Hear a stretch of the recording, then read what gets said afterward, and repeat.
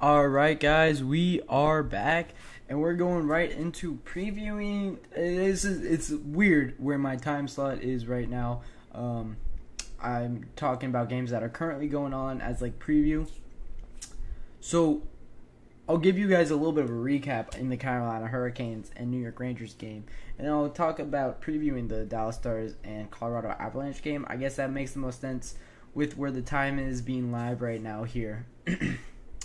Carolina Hurricanes just beat the New York Rangers four to one in this game five here. You have great production from the new or from Carolina Hurricanes, kind of uh, middle six really in this game. Uh, the Rangers looked like they were gonna get this game, st- or the the Rangers looked like they were gonna steal another game with Igor Shesterkin here going into the third period. It was a one nothing game uh, off of a Jacob Trouba goal an unassisted Jacob Trouba goal uh, on the uh, while they were shorthanded here. It was just an odd man rush that uh, Jacob Trouba just snipes it right underneath Freddie Andersen's. I believe it was his blocker, right underneath his blocker. Um, so the Rangers go into the second intermission up one nothing. This uh, low scoring game up until that point, but early in the third, the Hurricanes were able to tie the game up uh, from Jordan Staal. Uh, that was a feed from Dmitry Orlov. Let me tell you that goal from Jordan Staal was absolutely nasty. He takes this puck uh, to the front of the net and he just is very patient with it. Goes around the goaltender, and he was able to score this goal. Uh, makes it a one-one game here. Uh, Evgeny Kuznetsov is the next one to score. This is an assist from Brady Skjei and uh, Jesper Kotkaniemi. Uh, like I said, this middle six is what's really working for the Carolina Hurricanes right now um, and Brady Skjei, goal scorers, and when they see the puck go into the net, they start to contribute a lot offensively, and this is assist for this guy. Uh, then you have Jordan Martinook. Uh, that's his second goal uh, of this postseason. Feeds from uh, Drury and uh, Marnichas, and it kind of looked like the Rangers were a little bit checked after that second goal, and this third goal kind of showed it. It was a weird third period for the Rangers. Um, you don't have Igor standing uh, saying like a brick wall in the net like he did in the first two intermissions. And this is kind of is very reverse from what we've been seeing from the Carolina Hurricanes in these playoffs or in this series. Uh, it's it was they were winning the first couple of periods for the first couple of games. Uh, they just kind of fell apart at the end and they were losing the one score games. But in this game, they were able to win by three goals, and on Saturday they were they were able to beat the Rangers out by one goal uh, in a four to three victory there. And for the Carolina Hurricanes, they end the game off with Martin Necas empty netter. Uh, things are going right for them right now. Are they able to click fully here? It's going to be interesting to see. Uh, of course, they were down three nothing. Um, got a little scary for them. It's going into Game Six now in Carolina, where you know if we were looking at Game Six in a vacuum, Carolina down only two, uh, only three to two in this series now. It's interesting if you're looking at it in a vacuum, but you can't look at these games in a vacuum, right? You got to understand that the Carolina Hurricanes just took two games straight, and what are the chances that they can take four games in a row? Or do you look at it kind of like they they need to beat the Rangers only two times in a row? They just need to win two games straight, uh, and they move on it, of course they're going to go with the latter, but it's interesting to see what what the thought is on you know like the general public what they're really thinking about this one. It is really hard to beat Igor Shesterkin four times in a row. Like I said, I don't know if the Rangers lost four in a row during the entire regular season. I would not be shocked if they did not. This is really a good team, President's Trophy winning team. I I don't see them dropping this series from this point even. Uh, I didn't think that they were going to drop the these two games though. I thought that this was going to be just a gentleman sweep for the Rangers. I thought they were going to take this game and the Rangers were going to win in 5. However, my prediction before the second round was Rangers in 6. So, maybe the Carolina Hurricanes just wanted to prove my prediction correctly. That may be the only series I get right. but I, I said Panthers in 5 I said Rangers in six, Panthers in five is looking good. They're up three to one in their series there. I said Kane or uh, yeah, I said the uh, Avalanche in six. That's looking wrong as the Dallas Stars take a one nothing lead on the Colorado Avalanche in that game. We'll talk about that a little bit later. Shots on goal. Oh, we'll talk about that later. Um, we'll, we'll wrap up with the uh, New York Rangers and the Carolina Hurricanes real quick here. The Carolina Hurricanes can do this. The Carolina Hurricanes can make this comeback. They have the team for it. They're very talented. They're they're they're, a gritty squad. They're very fast, very young, and they're great.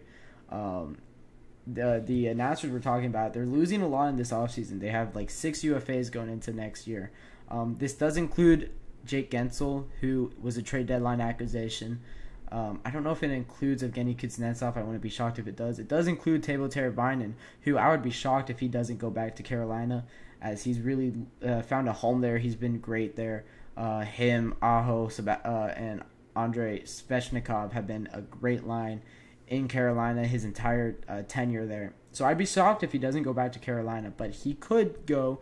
You also have Brady Skjei, Anthony DeAngelo, and one other defenseman, uh, Brett Pesce, I think, is the other defenseman, who are all UFAs as well. So it's going to be interesting to see. Uh, the the Carolina Hurricanes might be playing like their life depends on it because they really want to win this cup with this core together here while it's still together. So it's going to be interesting to see how they fight in this game six, as I expect it to be a great game, a very exciting one on Wednesday night. I believe it's on Wednesday night. Uh, it might be on Saturday. It is on Saturday, maybe. I don't know. Uh, they haven't announced the schedule yet because I don't think the NHL. Oh, it's Thursday. That's when the game is. Okay, so Game Six will be Thursday night. Um, but that's enough on the uh, Carolina Hurricanes and New York Rangers series for right now. As we're talking Stars and Avalanche, uh, the Dallas Stars are up one nothing in this series from a shorthanded goal via Wyatt Johnston and Sam Steele. Uh, that's Wyatt Johnston's sixth goal of the playoffs here. Um, 14 shots on goal to two in the first period. I'm excited to wrap this thing up and watch the rest of this hockey game because I think it's going to be a good one. The Avalanche just might be checked they just might be checked out of this series. They just losing Valeri Nichushkin. That's what we started this off, and this was probably what we're going to end off talking about. That's a huge swing when you're talking about the Colorado Avalanche, not having that first line right wing. And I don't, I, I don't, I, you know, I've been in here. I haven't been able to be out there, so I don't know if Jonathan Drouin is even playing in this game here. Um, that's that's very disappointing for the Colorado Avalanche. Only two shots on goal in 20 minutes one shot on goal in 10 per 10 minutes played. It's really, really bad. You have 4 on 4 hockey now. It's it, it, it's sad to see them going out kind of sorry here if they were to lose this game. That you know, of course they can make a comeback here. You still got superstar. You still have a great core here. Mikko Rantanen, and Nathan MacKinnon, Cale Makar, Artturi Lehkonen. These guys are great. Zach Parise has always been a star in this league. These guys are still great. These guys are a fantastic hockey team. Devon Toews is also really good. But it's going to need to be better for the Colorado Avalanche. Two shots on net in an entire period is not going to get it done. Um, I'd be very worried if I were them. Uh, this game is also in Colorado, so to, uh, I mean, it, this is a must-win game. It, you know, going down three to one without your uh, your leading goal scorer in the playoffs here you have two times that you're going to be away also it's not good for the avalanche they're going to need to fight back in this one like their life depends on it uh, that coach is going to have to say something in the locker room here to uh, turn things up for the colorado avalanche um, but really for them they need their superstars to be better and it's it's funny i did write this this little topic here after or sorry not after but before you know the Valeri Nichushkin uh, news drops. So you're losing one of these stars here, but you're gonna need uh, Nathan MacKinnon, you're gonna need Mika Rantanen, and you're gonna need Cale Makar to steal you a couple games, as they should be able to steal you a couple games. I would be a little bit worried for them when it comes down the stretch in these playoffs. I don't think that they can win a cup without that star that they had in Valeri Nichushkin. It doesn't take one guy to win a cup, but losing one guy can ruin your chances at winning a cup. Um, and you could really see that when it comes to the Colorado Avalanche here. Uh, as I said, they're going to need a step up in the aggregate, and it's going to be interesting to see if they can step up in the aggregate. Um, this this series is another one that I'm very excited to watch. Uh, this game's going to be very telling, so I can't wait to can't wait to watch this the rest of this game here as it is currently in the intermission. Um, so I'm going to go do that. Uh, so this this will conclude uh, this Monday night uh, podcast from the GSMC Hockey Podcast. Thank you guys for being able to tune in. Uh, your support means a lot to us. Um, so please remember to subscribe to this show, leave a positive review on whatever you're watching uh, the podcast on. It really does make a difference. We also invite you to follow us on Facebook, Twitter, TikTok, Instagram, uh, and much more for content uh, and updates. Thank you once again, and have a wonderful uh, day, guys.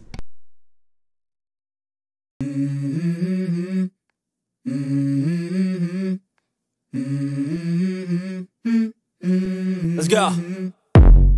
I wake up to a little bit of drool on my pillow, feel like it's gonna be a bad day. Yeah, I'm tired of shit, and the coffee ain't hit yet. Damn, ain't that great. I don't wanna go to